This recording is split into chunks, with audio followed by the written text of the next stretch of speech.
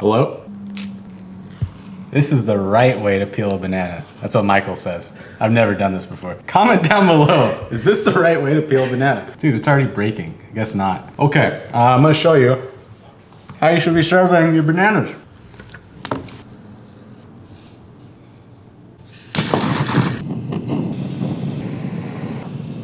Quick tip whenever you're bruleeing anything. Notice how I'm tilting my pan and letting that caramelized sugar sort of just drip down on the raw sugar. There's the money shot, Michael, don't miss it.